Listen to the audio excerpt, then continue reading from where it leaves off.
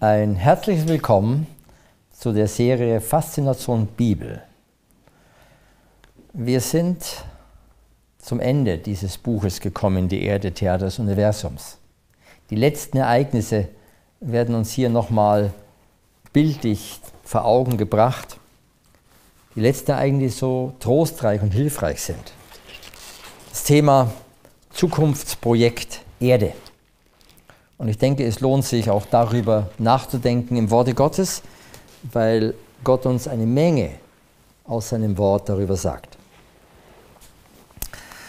Wir haben schon festgestellt, das letzte Mal, als wir uns über die tausend Jahre beschäftigt haben, dass ein Tag kommen wird, wo Gott alles Böse vernichten wird. Wir werden nochmal diesen Text aufschlagen im Petrusbrief, und zwar im zweiten Petrus er sagt es hier sehr deutlich im dritten Kapitel des zweiten Petrusbriefes. Und ich lese dort Vers 10 bis Vers 13. Es wird aber des Herrn Tag kommen, wie ein Dieb. Dann werden die Himmel zergehen mit großen Krachen, die Elemente werden vor Hitze schmelzen, und die Erde und die Werke, die darauf sind, werden ihr Urteil finden. Also interessant ist, dass hier gesagt wird, dieser Tag des Herrn, der kommen wird wie ein Dieb, ist nicht für die Gläubigen. Sie wissen, wenn der Herr wiederkommt. Sie kennen die Zeichen der Zeit. Und er sagt es auch ganz deutlich, der Paulus, ist nicht für euch. Ihr sollt nicht schlafen wie die anderen. Aber die die Dinge nicht lesen können, die sich mit dem Wort Gottes nicht beschäftigen, für sie wird dieser Tag wie ein Dieb kommen.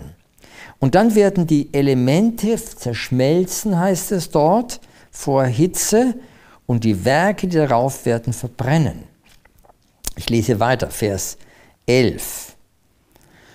Wenn nun das alles so zergehen wird, wie müsst ihr dann dastehen im heiligen Wandel und frommen Wesen. Er spricht hier die Gläubigen an, die ihr das Kommen des Tages Gottes erwartet und erstrebt, an dem die Himmel vor Feuer zergehen und die Elemente vor Hitze zerschmelzen werden. Er greift diesen Gedanken nochmal auf. Es wird ein Feuer sein, das nicht durch irgendeine Feuerwehr gelöscht werden kann. Alles wird brennen, sogar das Wasser wird brennen, alles wird brennen. Und dann heißt es Vers 13, wir warten aber auf einen neuen Himmel und eine neue Erde, nach seiner Verheißung, in denen Gerechtigkeit wohnt.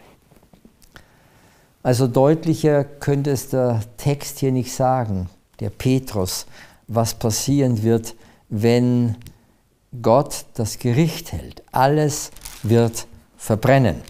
Wir haben in der Offenbarung ja auch schon Hinweise davon gelesen, in Offenbarung Kapitel 21. Und ich lese noch mal einen Text, im 21. Kapitel, und zwar den Vers 8. Dort heißt es, die Feigen aber und die Ungläubigen und die Frevler und Mörder und Unzüchtigen und Zauberer und Götzendiener und alle Lügner, deren Teil wird in dem Pfuhl sein, der mit Feuer und Schwefel brennt, das ist der zweite Tod. Also hier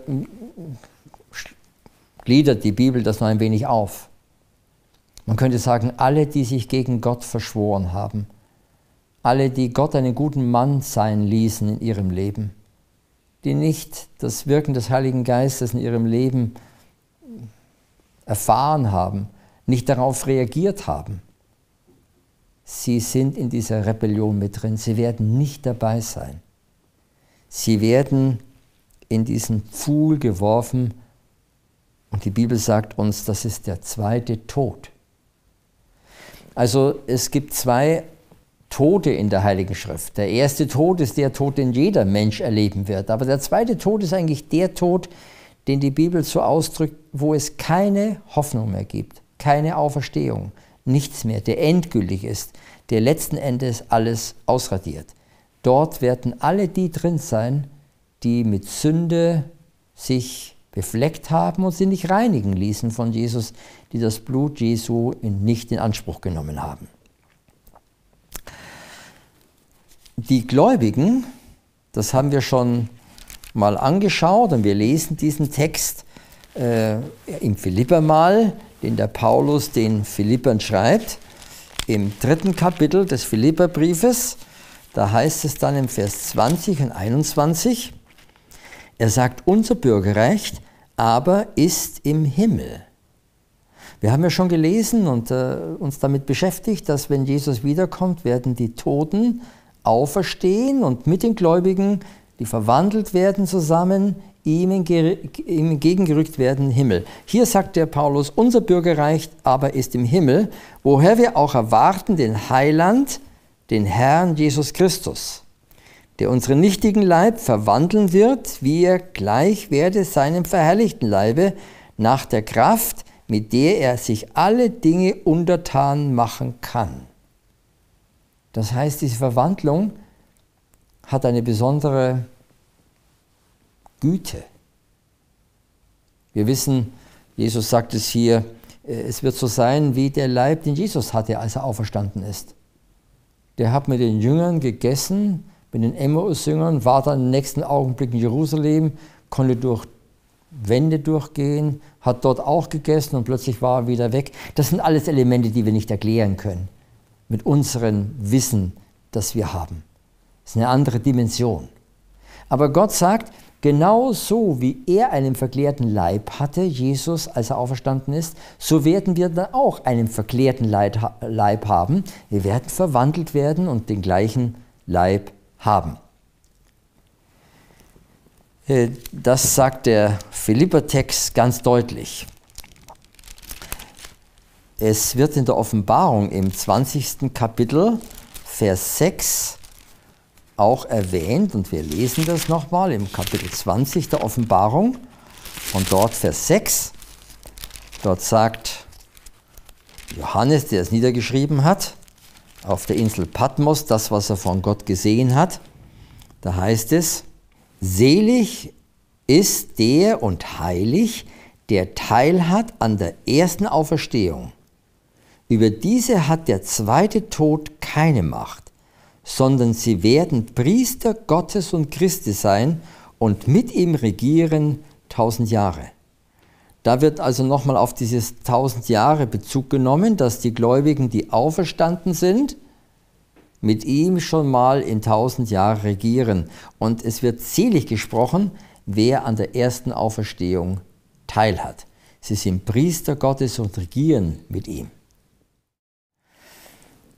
Das heißt, wenn Gott mit den Menschen dort ist und nach den tausend Jahren zurückkommt, die ja im neuen Jerusalem sind, dann wird er, so haben wir gelesen, er wird im Kapitel 21 der Offenbarung steht, ich sah einen neuen Himmel und eine neue Erde und der erste Himmel und die erste Erde sind vergangen und das Meer ist nicht mehr.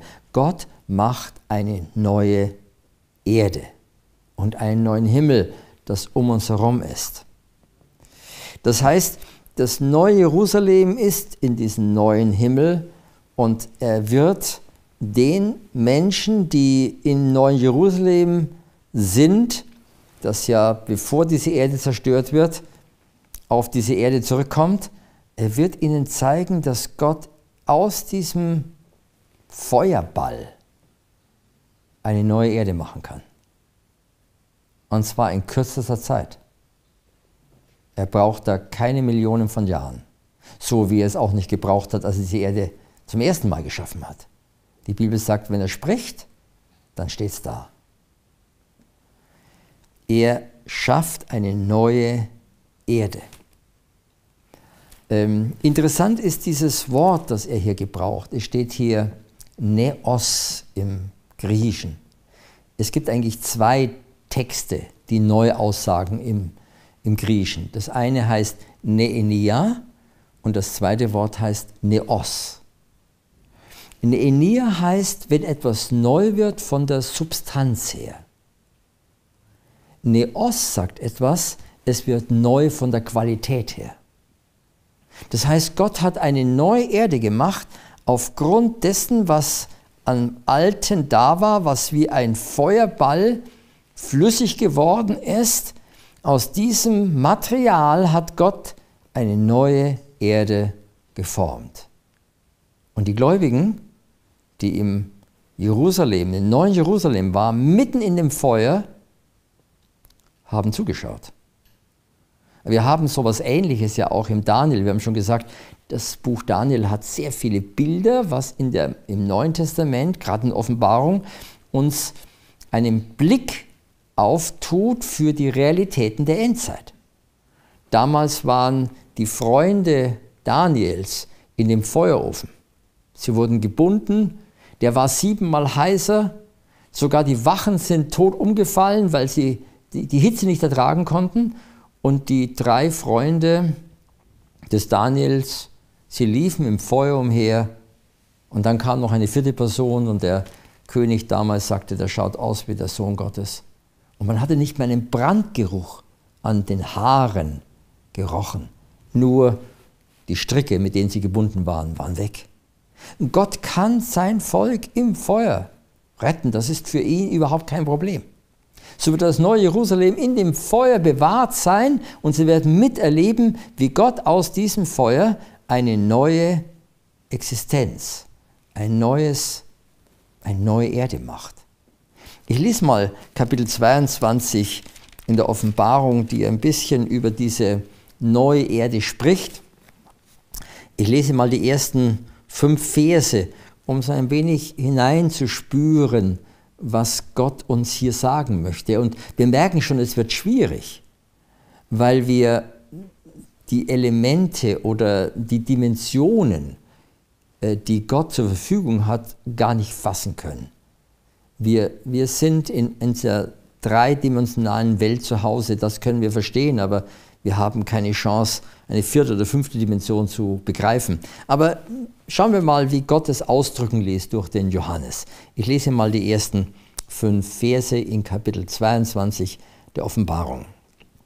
Da heißt es, und er zeigte mir einen Strom lebendigen Wassers, klar wie Kristall, der ausgeht von dem Thron Gottes und des Lammes mitten auf dem Platz und auf beiden Seiten des Stromes Bäume des Lebens. Die tragen zwölfmal Früchte. Jeden Monat bringen sie ihre Frucht und die Blätter der Bäume dienen zur Heilung der Völker. Ich möchte vielleicht gleich mal hier einen Hinweis geben. Ähm, viele haben sich damit Gedanken gemacht oder darüber Gedanken gemacht, was, was kann das bedeuten? Auf der neuen Erde gibt es keine Sünde mehr Wieso soll dann etwas heil werden, wenn es nichts mehr gibt, was, was schlecht ist? Aber vielleicht ist das ein Hinweis, dass Gott all die Dinge, die er auch am Anfang geschaffen hat, wieder in diese Form gebracht werden. Wir Menschen, wir sind durch die Sünde so degeneriert. Wir sind kleiner geworden. Adam war viel größer als wir. Man geht davon aus, dass Adam vielleicht so vier Meter Größe vielleicht gehabt hatte. Das heißt, wir stehen so auf, wie wir im Augenblick gebaut sind. Und es scheint so zu sein, dass hier der Text sagt, die Blätter dienen dazu, der Baum des Lebens, der dient dazu, dass wir in die Größe wieder kommen, die Adam sie auch hatte. Die Menschen werden zur Vollkommenheit heranreifen. Nicht, dass da etwas Schlechtes wäre in ihnen selbst, aber sie werden das wieder an Statur haben, das sie vorher auch hatten. In Vers 3 heißt es dann, und es wird nichts Verfluchtes mehr da sein. Und der Thron Gottes und des Lammes wird in der Stadt sein, und seine Knechte werden ihm dienen. Und sein Angesicht sehen, und sein Name wird an ihren Stirnen sein. Und es wird keine Nacht mehr sein und sie bedürfen keiner Leuchte und nicht des Lichts der Sonne, denn Gott, der Herr, wird sie erleuchten und sie werden regieren von Ewigkeit zu Ewigkeit. Wir haben auch da wieder den Hinweis, dass die ersten Eltern wahrscheinlich genauso wie Jesus damals auch oder Gott damals auch ein Lichtkleid hatten. Deshalb fühlten sie sich plötzlich nackt, weil sie dieses Lichtleib verloren haben durch die Rebellion gegen Gott. Das wird auch wieder da sein. Sie brauchen keine Sonne mehr. Gott ist bei ihnen. Sie werden strahlen. und sie werden mit ihm regieren von Ewigkeit zu Ewigkeit. Vers 14 lese ich noch. Selig sind, die ihre Kleider waschen, dass sie teilhaben an dem Baum des Lebens und zu den Toren hineingehen in die Stadt. Ein fantastisches Wort, nicht wahr?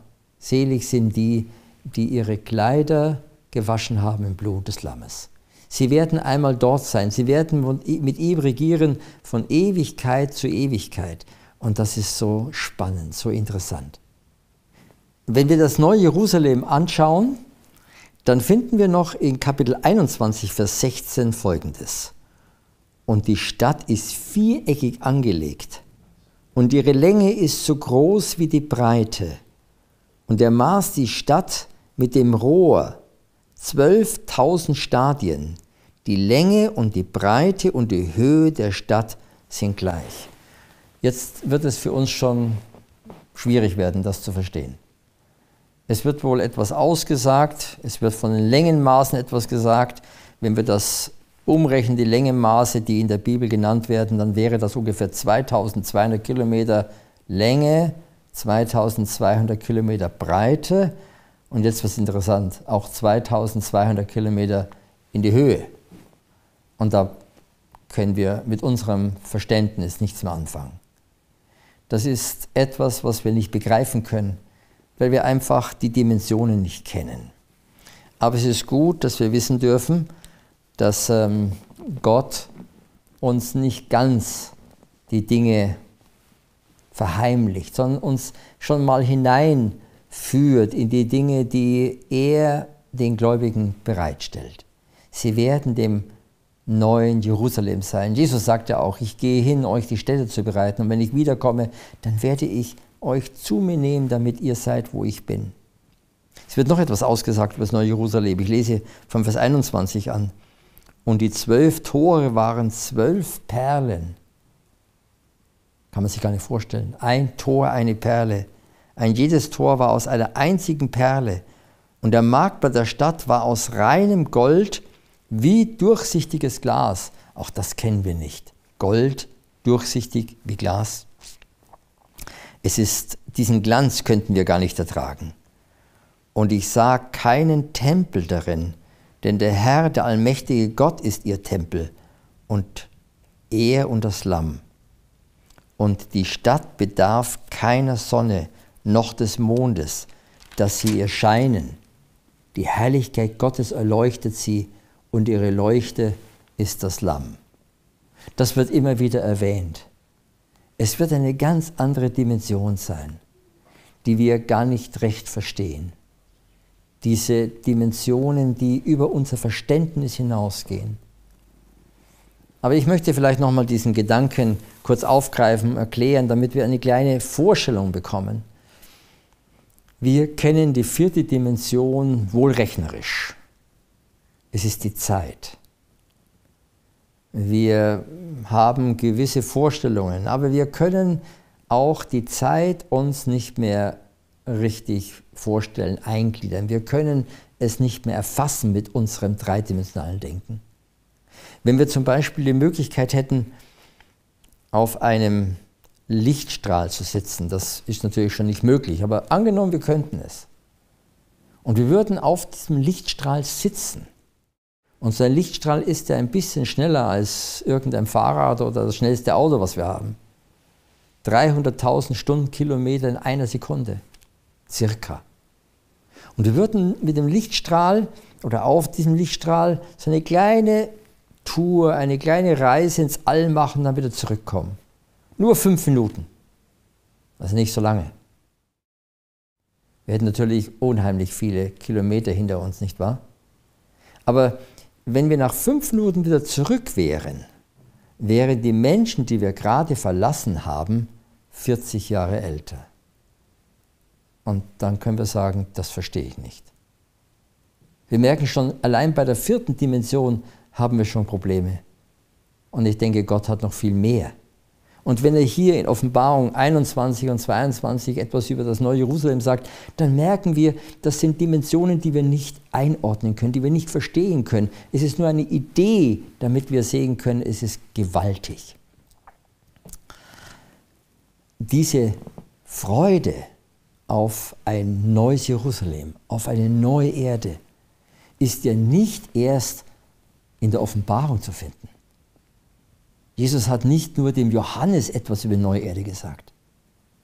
Auch er hat schon viele Dinge uns offenbart im Alten Testament. Das zeigt uns wieder, dass das Alte und Neue Testament sehr eng zusammengehören. Dass wir das Alte nicht verstehen ohne das Neue und das Neue schlecht interpretieren können, wenn wir das Alte nicht hätten. Wir haben im Alten Testament einige interessante Aussagen über die neue Erde. Geschrieben zum Beispiel von dem Evangelisten des Alten Testaments, von Jesaja. Und Jesaja lebte ungefähr 800 Jahre vor Christus, als er das niedergeschrieben hat. Und wenn ich Jesaja aufschlage, im 65. Kapitel und dort zum Beispiel Vers 17 lese, dann schreibt hier der Jesaja, denn siehe, ich will einen neuen Himmel und eine neue Erde schaffen. Das sagte ihm Gott. Dass man der vorigen nicht mehr gedenken und sie nicht mehr zu Herzen nehmen wird. Das wird so schön sein, dass wir das Alte eigentlich gar nicht in Erwägung ziehen. Das können wir uns gar nicht vorstellen. Wir haben heute nach so langer Zeit der Sünde immer noch an dieser Erde manche Plätze, wo wir sagen, es ist wunderschön, was Gott gemacht hat. Obwohl die Sünde schon so viel zerstört hat. Aber stellen wir uns vor, die Sünde hätte nicht stattgefunden. Welch eine Pracht wäre das? Scheinbar ist das, was Gott hier durch den Jesaja sagt, wieder ein, ein Gedanke, der uns bewusst machen wird oder bewusst macht, das, was Gott dann schafft, wird noch viel schöner sein als das, was wir uns je vorstellen hätte können. Viel schöner sein als das, was wir uns durch unsere verderbte Natur, die wir haben, überhaupt vorstellen können. Ich lese Vers 21 bis Vers 25 im gleichen Kapitel. Und es ist schön, wie, wie, wie praktisch, wie hilfreich das ist, was Gott hier zum Ausdruck bringt. Es heißt hier, sie werden Häuser bauen und bewohnen, sie werden Weinberge pflanzen und ihre Früchte essen. Sie sollen nicht bauen, was ein anderer bewohne, und nicht pflanzen, was ein anderer esse. Denn die Tage meines Volkes werden sein wie die Tage eines Baumes, und ihre Hände Werk werden meine Auserwählten genießen. Also interessant, wie er das ausdrückt. Der Prophet, Gott zeigt ihm etwas.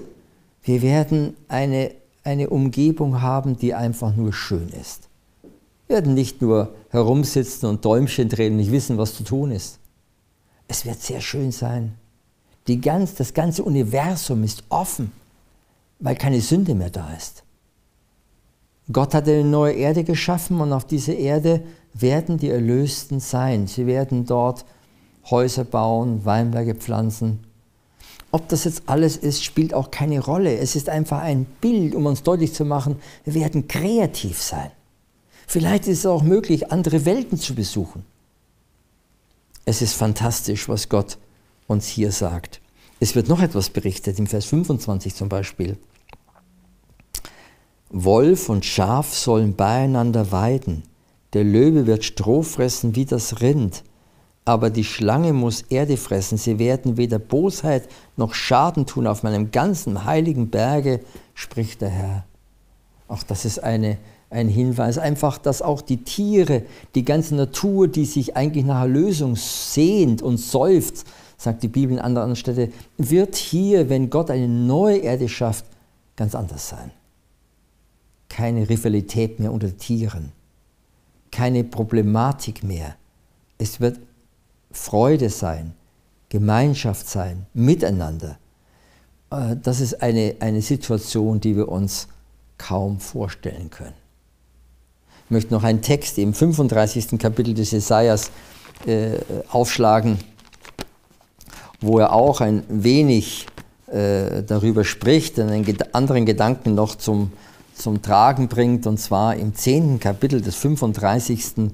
Kapitels, da sagt ähm, der Jesaja, die Erlösten des Herrn werden wiederkommen und nach Zion kommen.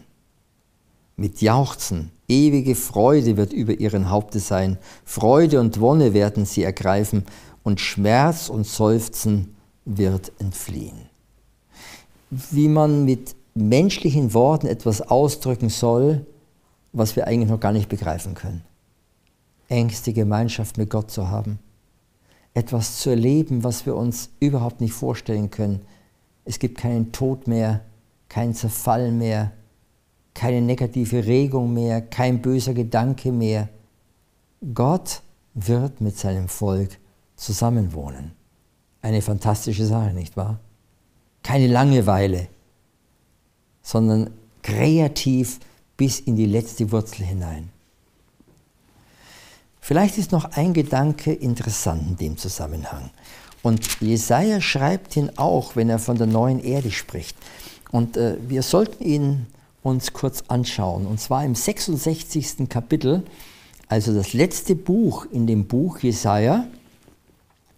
Es lohnt sich sowieso, das Jesaja-Buch durchzulesen, weil es ist vielleicht das Buch, das am meisten Parallelen überhaupt zur Offenbarung hat. Und wir würden die Offenbarung überhaupt nicht recht verstehen, wenn wir Jesaja nicht kennen.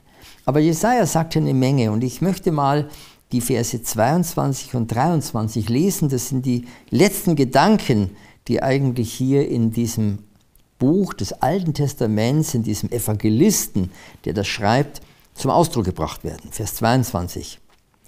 Denn wie der neue Himmel und die neue Erde, die ich mache, vor mir Bestand haben, spricht der Herr, so soll auch euer Geschlecht und Name Bestand haben. Also es ist nicht eine kurze Zeit, die Jesus nur für sein Volk vorbereitet hat, sondern Gott sagt, es wird für alle Ewigkeit so sein.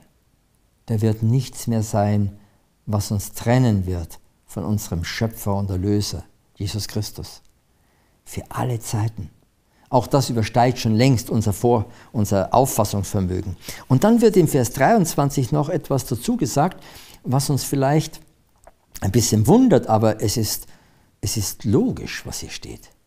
Vers 23 heißt, und alles Fleisch wird einen Neumond nach dem anderen und einen Sabbat nach dem anderen kommen, um von mir anzubeten, spricht der Herr. Das heißt, das, was wir mitnehmen in den Himmel, sind nicht unsere Häuser oder unsere Autos, unser Bankvermögen oder äh, weiß was ich alles. Nein, nein, das Einzige, was wir mitnehmen, ist eigentlich ein neues Denken. Unser Charakter, den wir in unserem Leben mit Jesus erworben haben. Und was wir mitnehmen, ist das, was unser Vertrauen zu Gott gestärkt hat und was unser Vertrauen zum Ausdruck bringt. Und scheinbar, und das wird hier erwähnt, hat der Sabbat diese Bedeutung. Gott hat den Sabbat ja geschaffen bei der Schöpfung. Und er sagt, so wie ich geruht habe, sollt auch ihr ruhen. Der uns hinweist, dass er der Schöpfer ist und auch der Neuschöpfer ist der Neuschöpfer unseres Lebens. Wenn wir Sabbat feiern, feiern wir eigentlich nicht nur einen Tag, damit einige Stunden anders ablaufen, wie wir sonst gewohnt sind, sondern wir feiern eigentlich, dass Gott versprochen hat, uns neu zu machen, unser Denken neu zu machen. Und dieses neue Denken in unserem Leben, diese Veränderung braucht die gleiche Schöpferkraft, wie aus nichts etwas zu machen. Der Sabbat erinnert wieder an diese Schöpferkraft Gottes. Bei der Schöpfung, er hat darauf in den zehn Geboten auf den Sabbat hingewiesen und gesagt, so wie ich in sechs Tagen Himmel und Erde gemacht habe und am siebten Tag geruht, so sollt auch ihr den Sabbat heiligen, ruhen an dem Tage. Wenn es jemand gegeben hat, der mit Vollmacht Sabbat gehalten hat, dann war es Jesus, nicht wahr? Er hat den Sabbat immer zu Ehren seines Vaters gehalten. Es war ein Bedürfnis. Er ging nach seiner Gewohnheit am Sabbat in die Synagoge. Er ging in den Gottesdienst. Er war derjenige, der am Sabbat engste Gemeinschaft mit seinem Vater hatte. Und sogar als er gestorben ist, hat er das zum Ausdruck gebracht. Er ist am Freitag gekreuzigt worden, ist am Sabbat im Grab gelegen, hat geruht und ist am ersten Tag der Woche aufgestanden. Und dann haben wir die Jünger, die ihr ganzes Leben lang eigentlich Sabbat gefeiert haben. Mit den Heiden zusammen. Hat ihnen hat, sie haben ihnen gezeigt, was es bedeutet, mit Gott verbunden zu sein durch die Treue zu dem Tag, den Gott als heilig auserkoren hat. Und seltsamerweise oder logischerweise nimmt Gott diesen Gedanken, wenn es um die neue Erde geht, wenn es um die Anbetung Gottes geht. Die Menschen, alle, die gerettet worden sind, das ganze Universum wird kommen und immer wieder den Schöpfer verehren.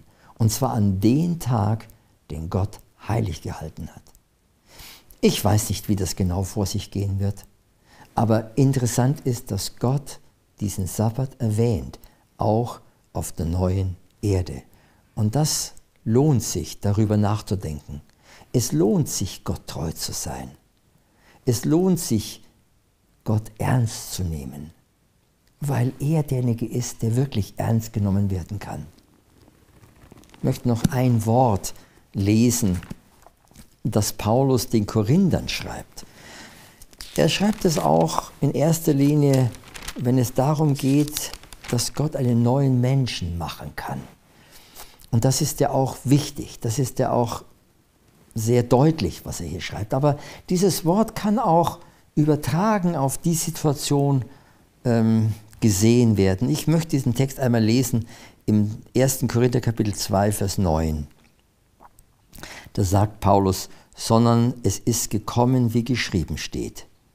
Was kein Auge gesehen hat und kein Ohr gehört hat und keines Menschen Herz gekommen ist, was Gott bereitet hat denen, die ihn lieben. Ein fantastisches Wort. Gott hat Großes vor. Er möchte, dass wir alle einmal bei ihm sind. Er möchte, dass wir alle diese Freude erleben, ohne Sünde, ohne Rebellion, Gemeinschaft mit unserem Erlöser zu haben. Über alle Ewigkeit hinaus. Auch wenn wir das nicht ganz begreifen können. Auch wenn, wir das, wenn das unser Verständnis eigentlich übersteigt. Aber es ist schön, solch einen Gott zu haben, der das versprochen hat. Und der bis jetzt alle Versprechen wahrgemacht hat. Und der auch dieses Versprechen wahrmachen wird weil die Dinge genauso ablaufen, wie es sich in der Bibel abzeichnet. Ich möchte eine kleine Geschichte noch erzählen, die vielleicht das sehr deutlich macht. Es war ein kleiner Junge. Er ist äh, damals es war damals gewesen, als noch die, die Raddampfer äh, ähm, gebaut worden sind. Und diese Geschichte äh, spielt beim Mississippi statt und äh, an diesem großen Fluss. Und dieser kleine Junge, er war schön angezogen mit Krawatte und weißem Hemd und er ist mit seinem Köfferchen an dem Damm des Mississippis gelaufen. Und er sieht dann plötzlich ein paar Angler dort und dann lässt er einfach seinen Koffer stehen, er stellt ihn auf den Boden und schaut ihnen zu und nach einiger Zeit fragen die, die Angler, sag mal Junge, wo willst du denn hin? Ja, sagt er, ich möchte zum Schiff, weil das wird kommen und äh, das wird mich abholen. Und die Angler sagten, nein Junge, wenn du zum Schiff willst, dann musst du ungefähr noch zwei Kilometer weitergehen, weil dort ist die Anlegestelle. Das Schiff wird hier nicht halten. Aber der Junge hat sich nicht gerührt. Er ließ seinen Koffer stehen, er schaute ihn zu und er blieb einfach. Und plötzlich hörte man den Raddampfer, den Mississippi, herabkommen. Und als man ihn dann gesehen hat, dann holt der kleine Junge sein Taschentuch heraus und winkt. Und plötzlich merkten die Angler, dass das Schiff langsamer wird und genau an die Stelle fährt, dort, wo der kleine Junge steht. Und es kommt ganz an das Ufer ran und man hat ein Brett genommen und über die Reling gestreift und auf den Damm dann gelegt und der Junge, er nimmt sein Köfferchen und dann schlendert er über dieses Brett auf das Schiff und schon hörte man, wie, die, wie der Raddampfer wieder Fahrt aufnimmt. Und der Junge, der wendet sich nochmal an die, an, die, an die Angler dort und sagt, ich habe noch was vergessen. Wissen Sie, sagte, sie, sagte er, der Kapitän ist mein Vater. Und ich denke, genau das ist das Entscheidende. Wenn unser Kapitän unser Vater ist, Gott ist, dann brauchen wir keine Angst zu haben, dass er uns vergisst. Er wird seine Versprechen wahrmachen. Es ist so schön, dass wir solch einen wunderbaren Gott haben. Und dieses Buch, die Erde des Universums, macht das in Bildern so deutlich, so klar. Es ist hilfreich, wenn man die Bibel studiert und sich dann dieses Buch anschaut. Viele Gedanken kommen dann wieder ins Gedächtnis. Und auch wenn wir das Buch aufschlagen und sehen, dass unter jedem dieser Ereignisse, die wir angeschaut haben, auch unter dem heutigen, äh, dass dann eine Menge von Bibelstellen stehen, die man nachlesen kann, wo man sehen kann, was bedeutet denn das? Wo spricht die Heilige Schrift darüber? Dann ist das einfach sehr ermutigend. Es ist ermutigend für unser persönliches Studium. Es ist aber auch ermutigend, wenn man mit Menschen, unseren Freunden, die Bibel aufschlägt und wenn man sieht, dass das, was in dieser Bibel steht, auch uns betrifft, unser Leben betrifft. Es lohnt sich, auch dieses Buch sich näher anzuschauen. Und wer es gerne haben möchte, über Amazing Discoveries ist das zu, auch zu bekommen. Es wird weitergeleitet. Es ist fantastisch, sich mit diesem Buch zu beschäftigen, weil es eigentlich das beschreibt, was das Wort Gottes uns sagt.